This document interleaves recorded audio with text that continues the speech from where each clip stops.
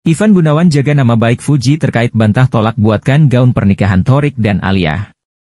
Seperti yang kita ketahui Ivan Gunawan akhirnya buka suara soal tuduhan menolak membuatkan gaun pernikahan Alia Masaid demi menjaga hati Fujianti Utami alias Fuji. Hadir di acara talk show Brownies baru-baru ini, Ivan Gunawan menegaskan bahwa Aliyah Masaid sama sekali tidak menghubunginya untuk meminta dibuatkan gaun pernikahan. Tidak hanya itu, desainer yang akrab disapa Igun itu juga mengaku tidak dekat dengan Fuji, sampai-sampai harus menjaga hati sang selebgram. Ditawarin juga kagak, diminta tolong juga enggak. Saya sama Fuji teleponan tiap hari juga enggak. Ya kan? Yang saya tahu, Tarik itu haji umur dua bulan, kata Igun sambil bercanda. Ivan Gunawan pun memaklumi jika Aliyah Masaid tidak memilih dirinya sebagai desainer busana untuk hari pernikahannya.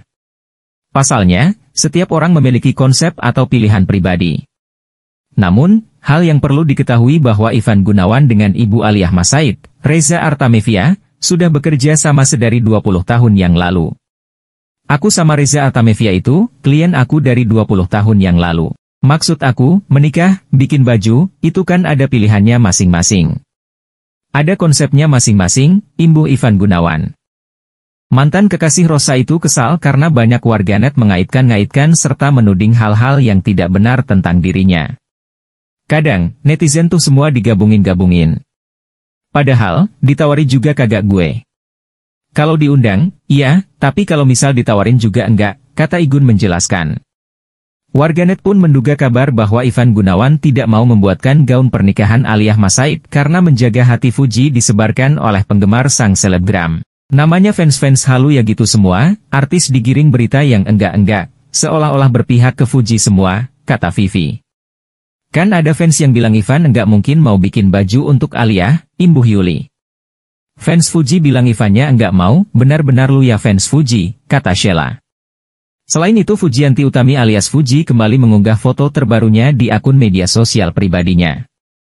Selebgram yang sedang naik daun ini menjadi salah satu selebriti muda yang viral karena telah menggapai sukses di usia muda. Nama Fuji mulai mencuat setelah sepeninggal Vanessa Angel yang merupakan kakak iparnya karena terlibat kecelakaan tunggal dua tahun lalu.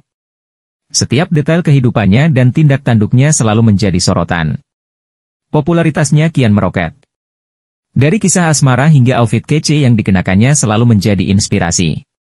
Dalam unggahan di akun Instagram pribadinya, Fuji underscore an ia terlihat mengunggah foto dirinya menggunakan dress putih. Ia menyempurnakan penampilannya dengan sepatu sneakers boots dan tote bag. Wajah cantiknya pun makin memesona karena pulasan makeup simple flawless. Dengan gaya rambutnya yang diurai natural sukses membuat penampilannya jadi makin anggun. Gak bisa milih dan males.